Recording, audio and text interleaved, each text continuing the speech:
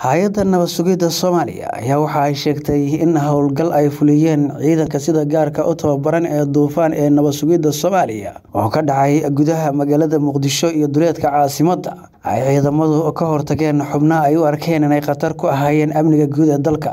Warkan ka soo baxay hay'adda sirdoonka qaranka soomaaliya ee niisa ayaa lagu sheegay in ciidanka duufaan ay fuliyeen howlgal qorsheysan oo ka dhacay degmada dherkenley ee gobolka banaadir iyo deegaanka ceelasha biyaha ee duleedka magaalada muqdisho waxayna sheegtay in howlgalkaasi inta uu socday ciidanku ay gacanta ku dhigeen laba sarkaal oo sarsare kuwaas oo ka yimid deegaano ka fog caasimadda islamarkaana ciidamadu ay si dhow ula socdeen ilaa ay ka soo gaaraan degmada dherkenley iyo sidoo kale deegaanka ceelasha biyaha. Inkastoo hay'adda nabad sugidda soomaaliya aynan soo bandhigin sawirada sidoo kalena aynan shaacinin magacyada saraakiishan labad ah ee ay sheegtay ay gacanta ku dhigeen ciidanka duufaan ee nabad sugidda soomaaliya.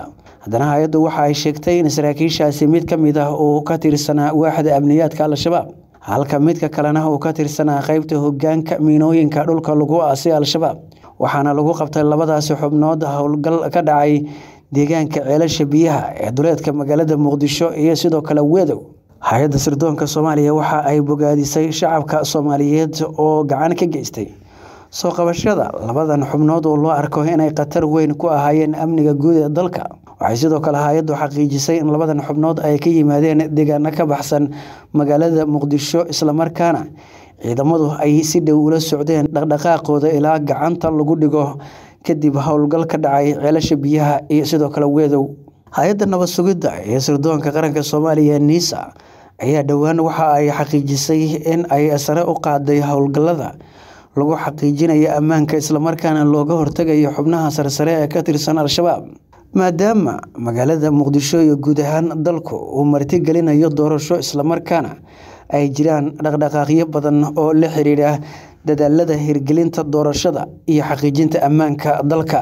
Colindhacdasiib ee muqdisho.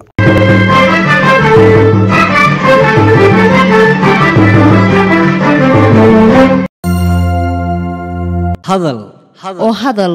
oo ku hadal. Bishii oo dhan. Toddoba dollar. Oo keliya. Ku darso fariin kasta oo aad dirtaana waa kuu bilaash. isticmaal shabakadda ugu ballaadhan geeyiga somalilan haddaba si aad ugu shubato adeega kaafiye fadlan garaac xidig siddeed eber siddeed afargees ama xidig laba eber laba afargees tayo.